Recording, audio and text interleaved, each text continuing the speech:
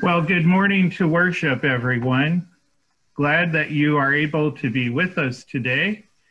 And um, like to thank Joe Siebert for sharing a sermon this morning and uh, to all the other musicians and readers who are going to be assisting in worship today. Uh, Pastor Berg and Susan are in Ashland, Oregon, visiting their daughter Hannah.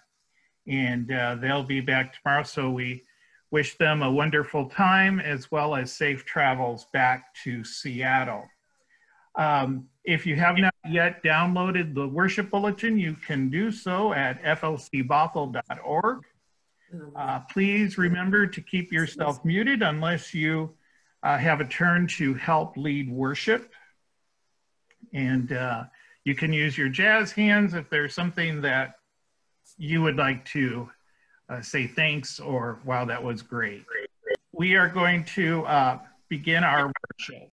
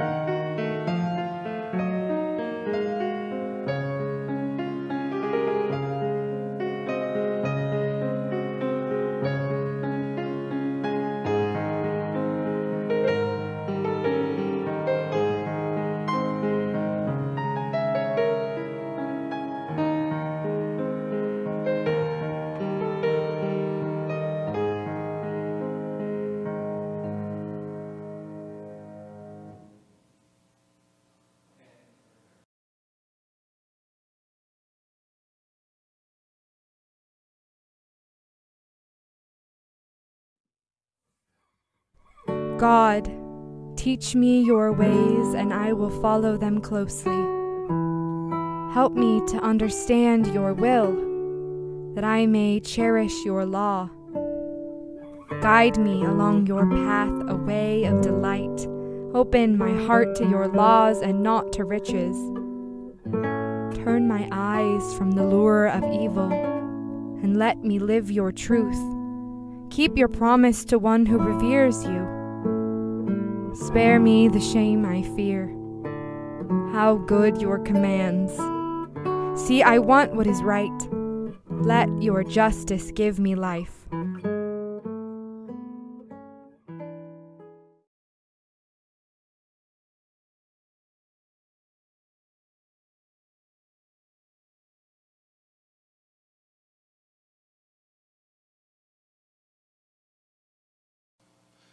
Praise to the Lord the Almighty, ELW 858. German hymn writer Joachim Neander in the 17th century wrote the text for this hymn of joy and praise. It's based on Psalms 103 and 150. He set his text to a tune that was well known in his own day. Neander wrote at least 60 hymns, which were also hymns of joy and praise, in a time which, in which hymn singing had become rather tedious. Praise to the Lord was written in his 30th year when he was dying of tuberculosis. It was Catherine Winkworth who introduced the hymn to the English speaking world almost three centuries later in the late 19th century. This is one of the most well known hymns in Christian books of worship. As we sing, we join with voices in many languages of millions who have gone before us and those across the globe to sing these words of thanksgiving and honor to the God who created us, protects us, and befriends us.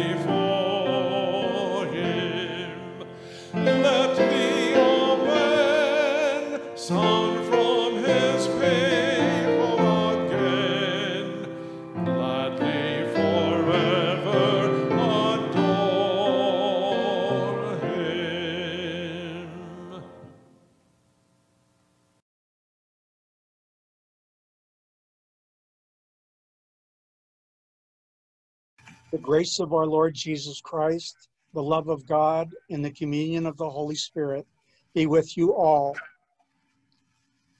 Let us pray. O God, with all your faithful followers of every age, we praise you, the rock of our life. Be our strong foundation and form us into the body of your Son, that we may gladly minister to all the world through Jesus, Jesus Christ, our Savior and Lord. Amen.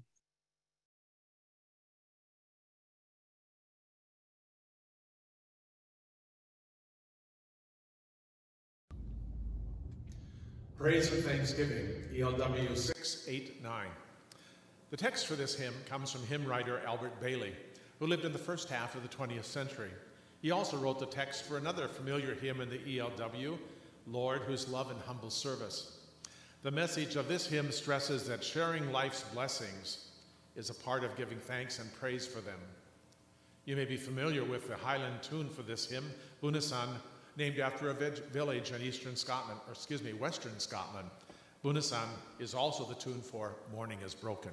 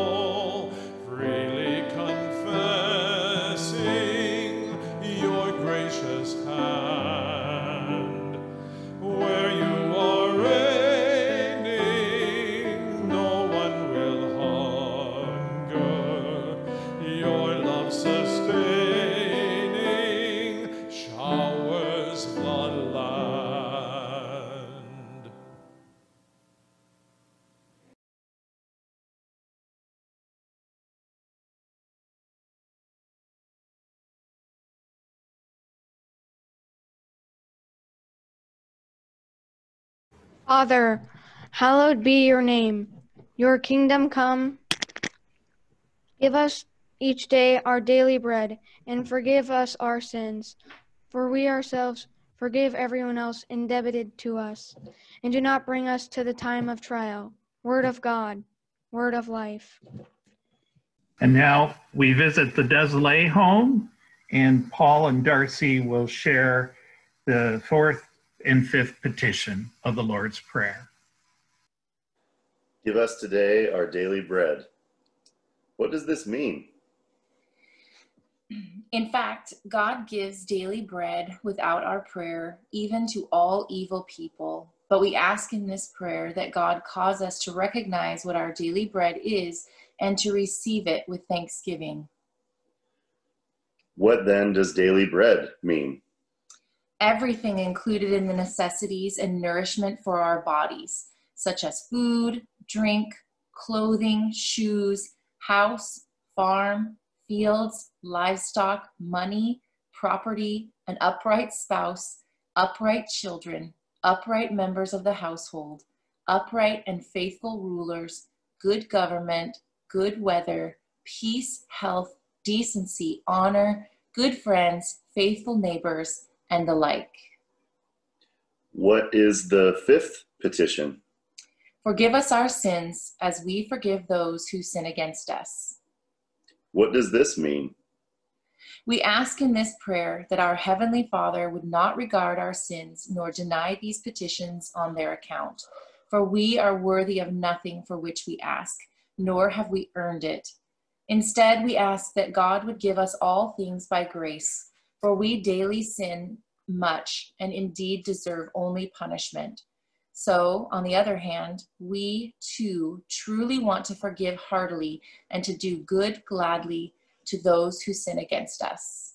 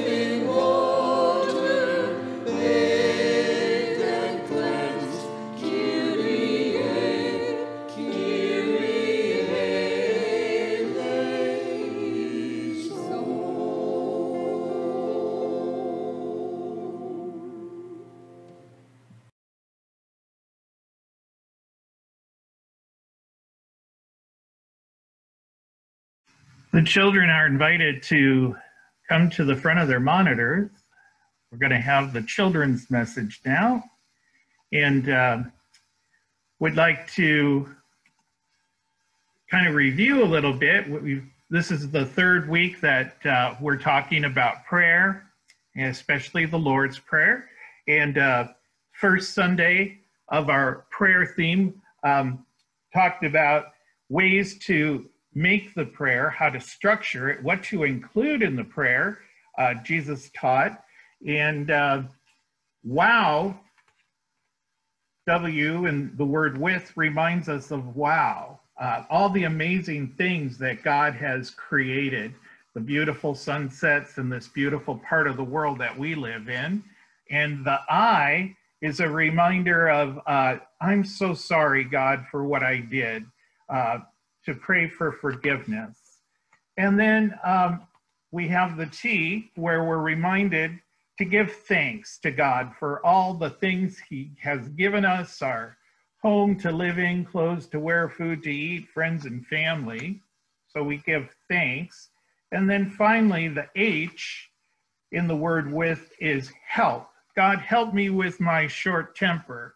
God, help me with that irritating person I have to work with or member of the family who it's hard to get along with. So that's uh, how we build our prayer. And then we're reminded that uh, any time of the day is a good time to pray. And last Sunday, we prayed around the clock, all the different places that we can pray, whether we're at school or work or sitting in the car or standing in line.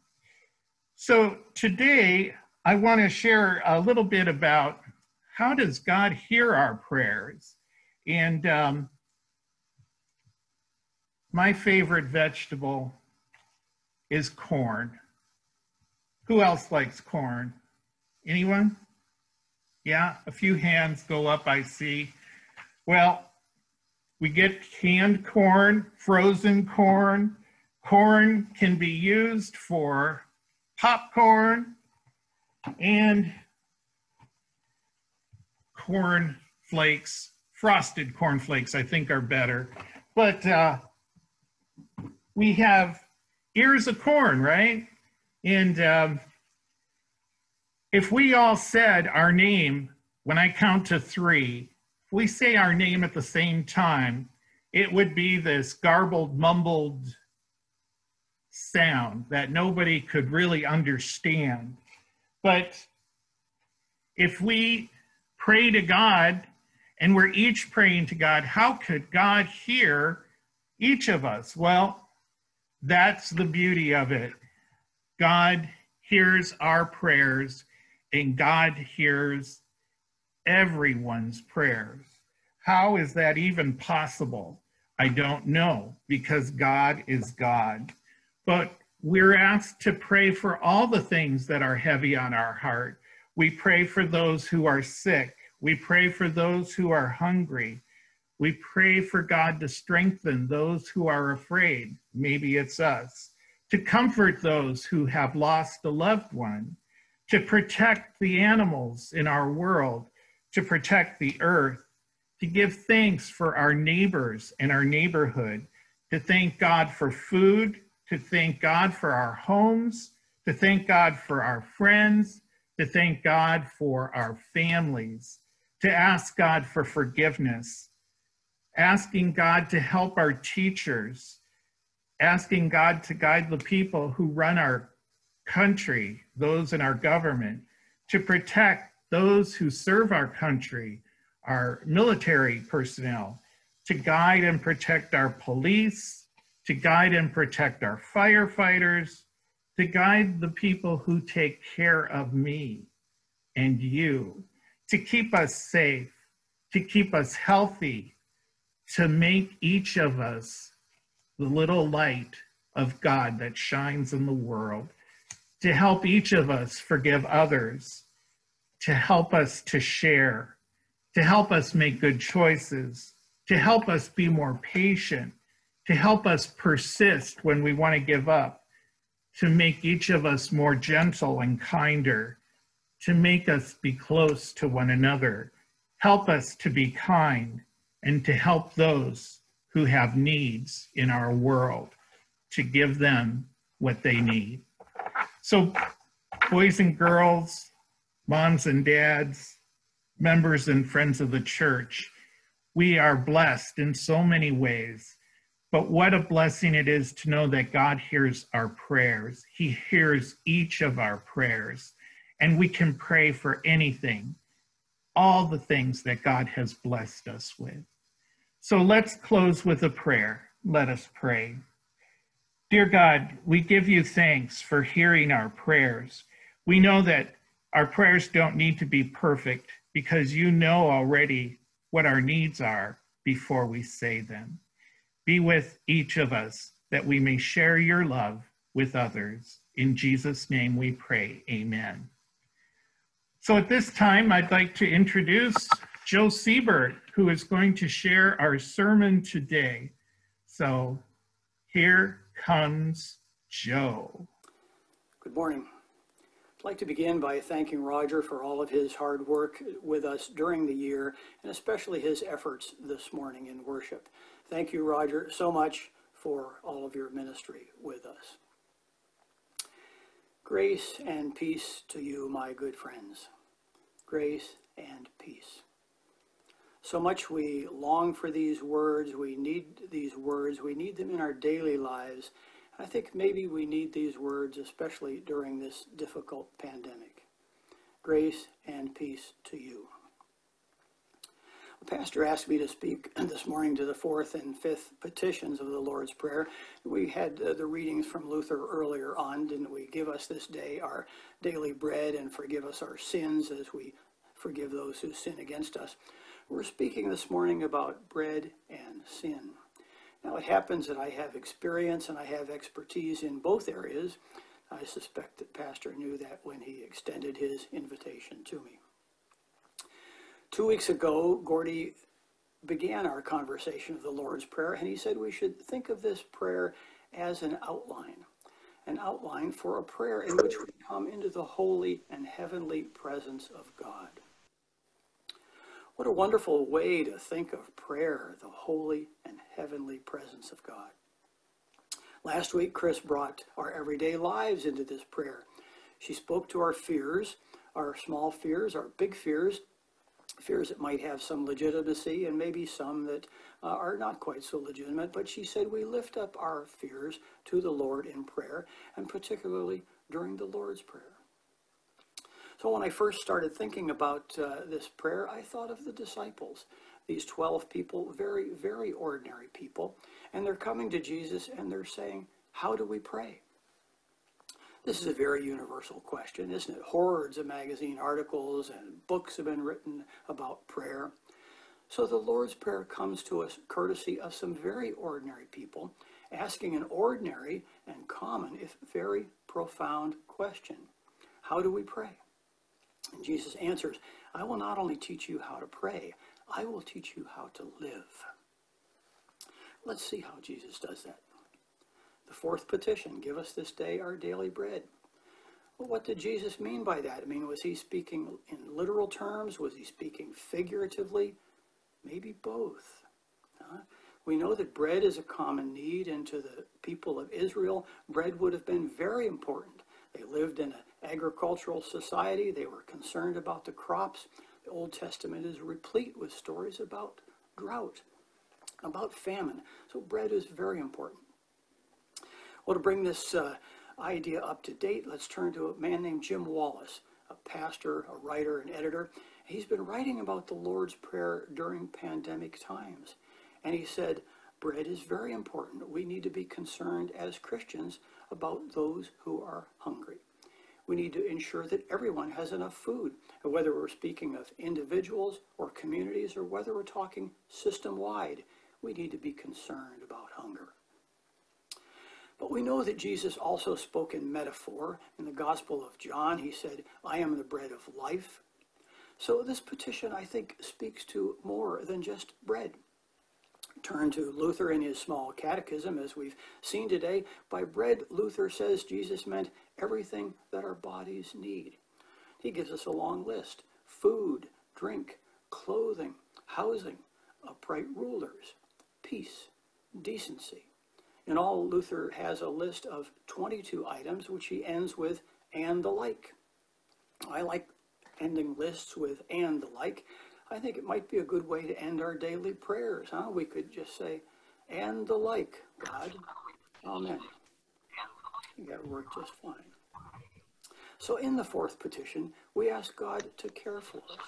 And we know that in asking God for God's care, we know that God will deliver that care.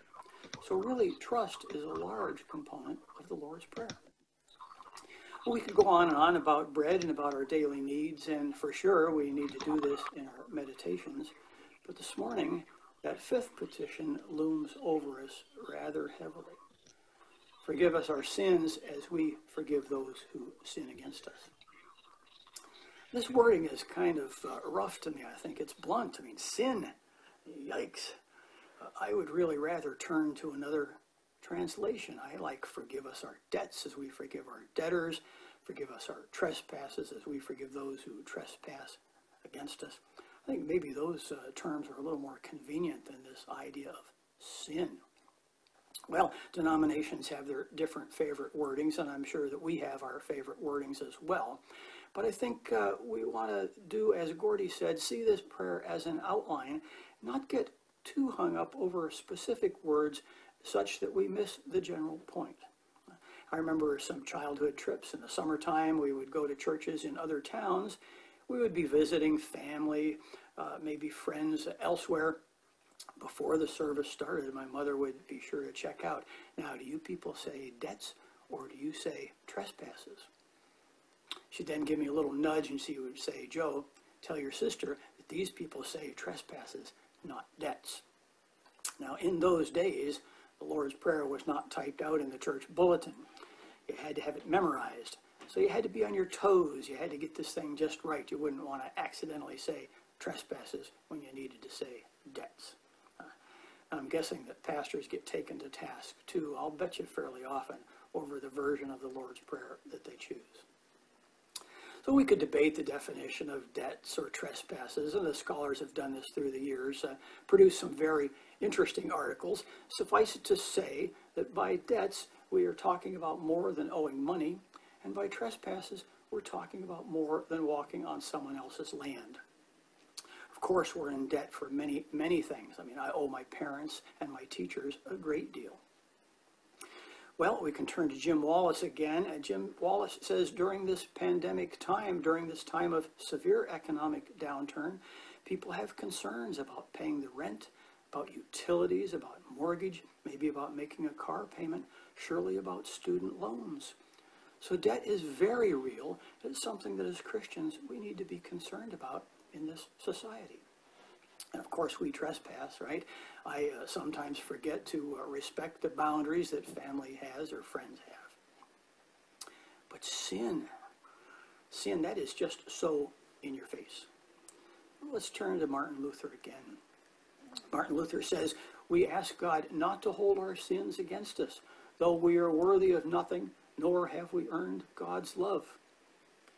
Can imagine Martin Luther, can't you, laying in that cold chapel in that little country town thinking about his own sins and saying, I don't know how God can ever love me. But Luther says, We ask that God would give us all things by grace, for we sin daily. And Luther goes on, if God forgives us, then it is our duty to forgive others heartily and gladly. What? I mean, forgive someone heartily and gladly? Mean, do we ever do that? You've done me wrong, and so I need to forgive you willingly, heartily, gladly. And that's asking a lot. So really, in these two petitions, what are we talking about? I think we're talking about all of life. I think these two petitions cover everything of life, don't you? I mean, the Lord's Prayer is very much alive. For it to survive all of these centuries, it had to have immediate relevance to lives. Lives everywhere, our own lives, the lives of our grandparents, our great grandparents. We pray for bread for all of our daily needs. We raise up sin, the ways in which we live, and the ways in which we stumble. And we ask for forgiveness the ways in which we make amends for our shortcomings, and ask others to do that for us. These disciples were very ordinary people. They asked for guidance in prayer, and Jesus gave them an answer that has lasted and lasted. In these two petitions, we ask God for help in our daily lives, and we know that God will answer. Well, how will God answer? God will answer with abundance and with love. This is God's grace at work. We are showered with blessings for things that we have not earned and do not deserve. But this is how God acts. And through his prayer, Jesus reminds us that if we've received abundance and love, then we are called to share it. This, I think, is the message of these two petitions. The message is simple and profound and ever so challenging. But mostly, the Lord's Prayer shows us a magnificent way to live. Amen. Thank you, Joe. Thank you very much for those beautiful words and encouragement. Uh, now we continue with the hymn of the day, hymn number 605.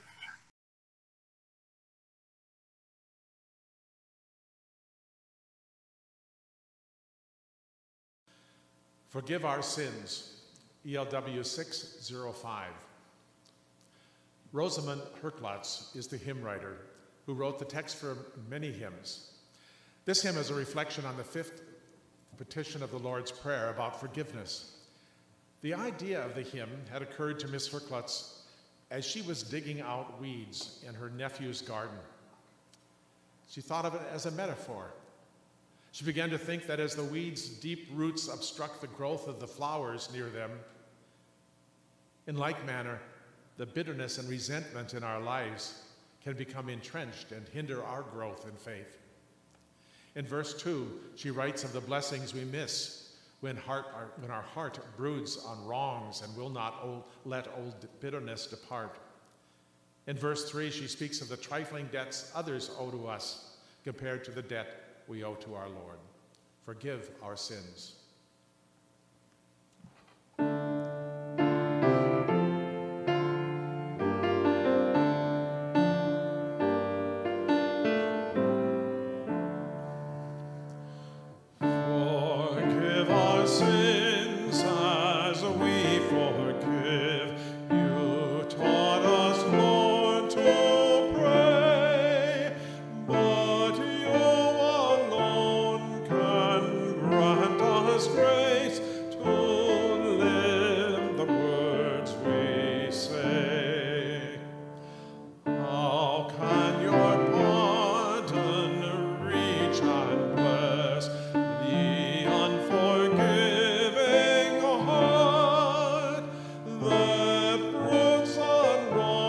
And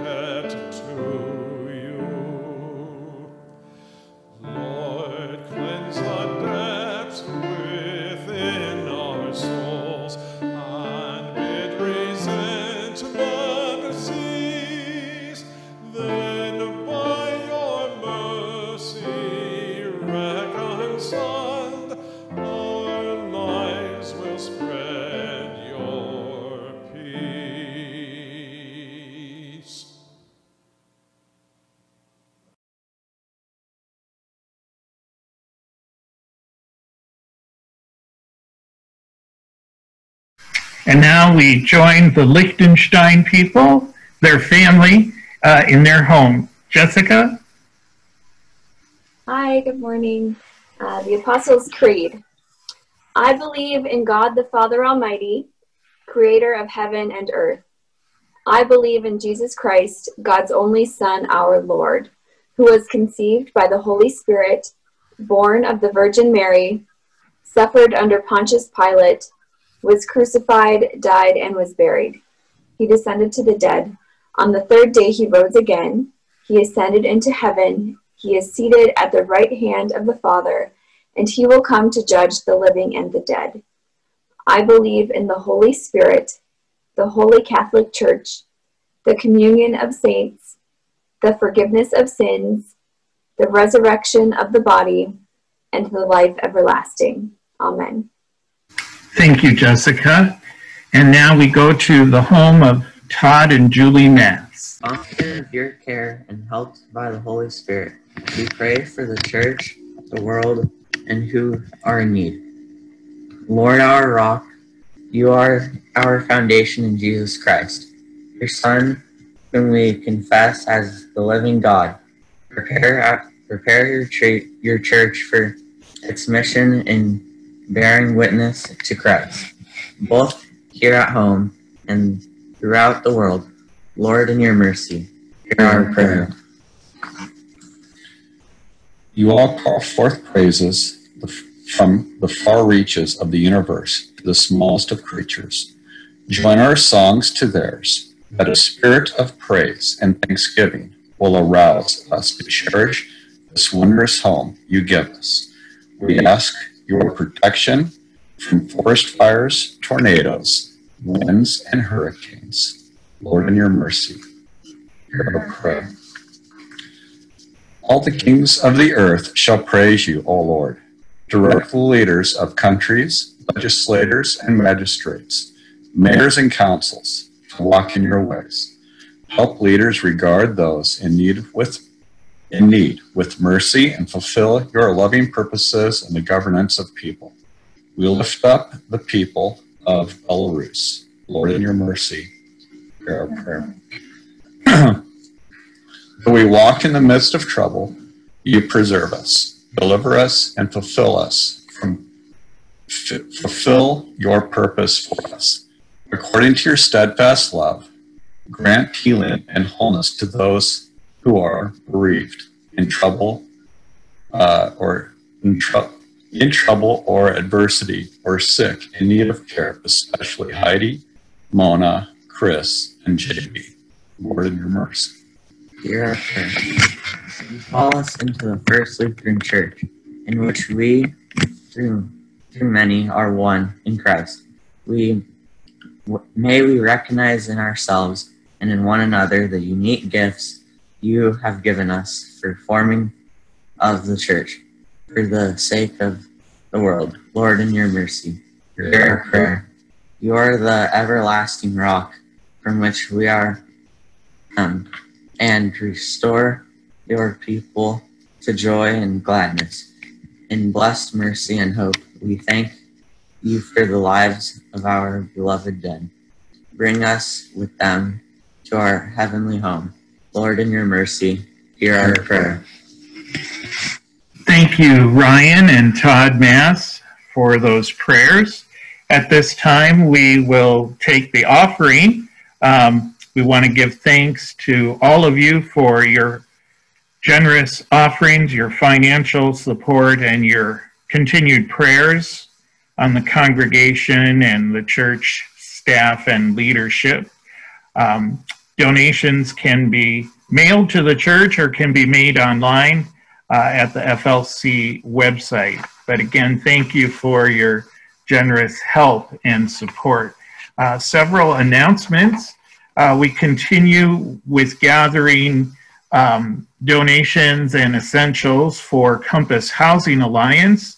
Uh, we are gathering new or lightly used towels, um, toothbrushes, toothpaste, soap, shampoos, especially the travel size, uh, new socks, and sidewalk chalk.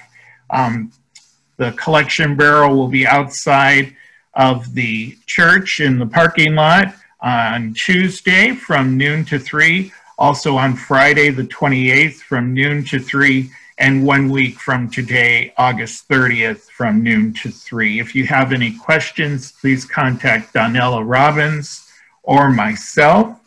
Uh, hygiene donations are also being collected for Lutheran Community Services of the Northwest, and uh, the announcement that I was given said that there will be uh, a receptacle today, um, August 23rd from noon to 3, or you can go to the church website to donate monetary support. Uh, Lutheran World Relief School kits are wrapping up, and um, this coming Friday from noon to 3, uh, school items can be dropped off at the church. It's also a time to uh, do the unpacking and sorting. Uh, also, one week from today on August 30th, from 1 to 2.30, there'll be uh, bag stuffing. So uh, please bring your face mask and join us. Uh, there are disposable face masks that can be given to you if you forget yours. Um, here's an important note in keeping with the times of this pandemic. Uh, the church council is requesting that all church events uh, with participants present should stay within the recommended state guidelines, uh, distancing of a minimum of six feet apart, and masks will need to be worn at all times. If you would like gloves, we can also supply those.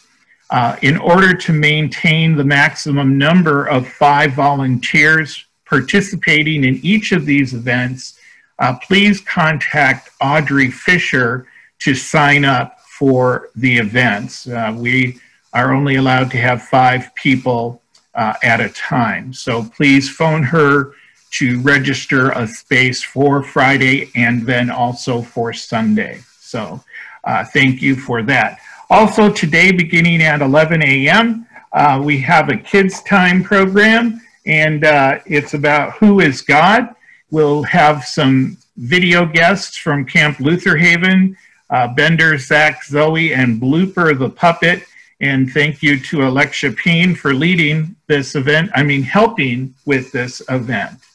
So, um, in conclusion, thank you again, Joe, for wonderful sermon and for the different musicians and readers who um, participated in our worship service this morning. Uh, thank you also for your patience. Um, there are a lot of little steps in doing this worship service. I apologize that I didn't hit mute uh, several times, so please forgive me. Uh, also, thank you to Jackie Schnari, uh, who'll be leading this morning's coffee hour. So, we continue with the offering prayer. Let us pray. God of goodness and growth, all creation is yours, and your faithfulness is as firm as the heavens. Water and word, wine and bread, these are signs of your abundant grace. Nourish us through these gifts that we might proclaim your steadfast love in our communities and in the world through Jesus Christ, our strength and our song. Amen.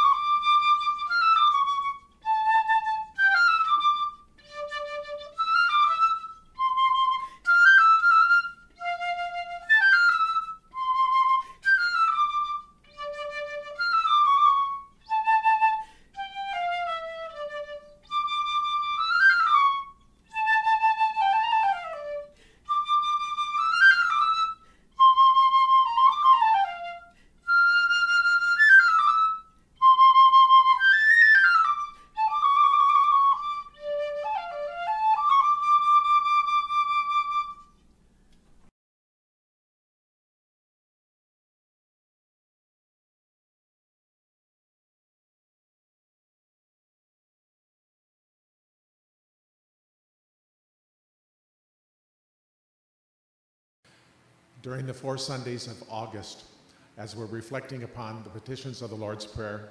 Each Sunday we'll sing the Lord's Prayer.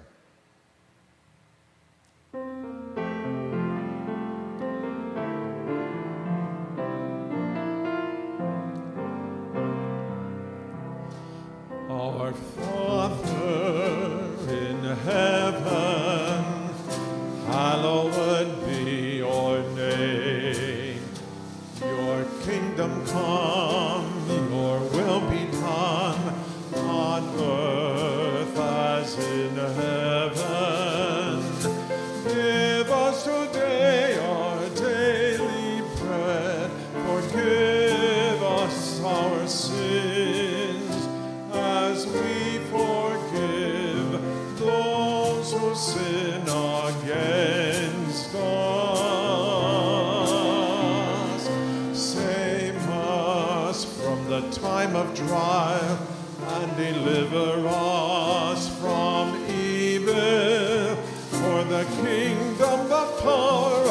Glory are yours, now and forever.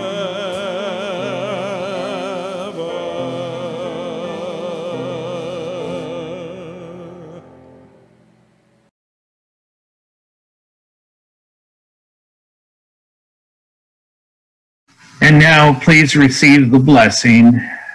Neither death nor life, nor angels nor rulers, nor things present, nor things to come, nor powers, nor height, nor depth, nor anything else in all creation will be able to separate us from the love of God in Christ Jesus. God the Creator, Jesus the Christ, and the Holy Spirit the Comforter bless you and keep you in eternal love. Amen.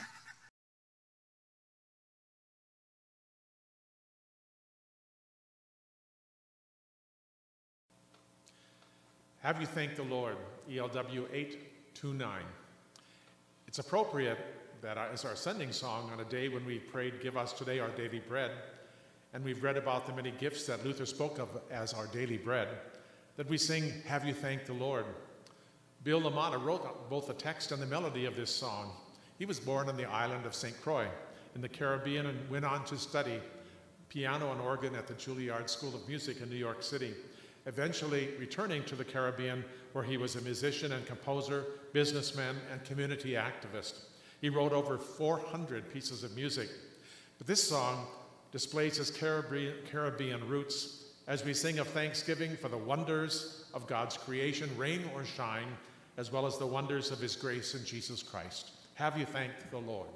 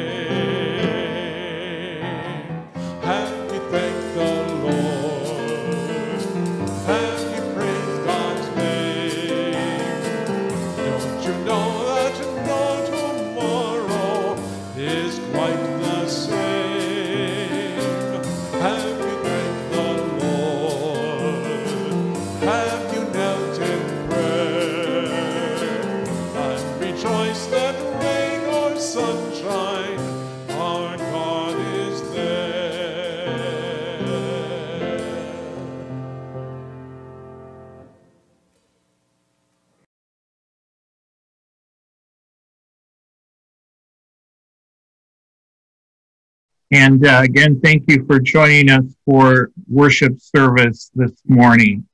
Uh, please receive the dismissal.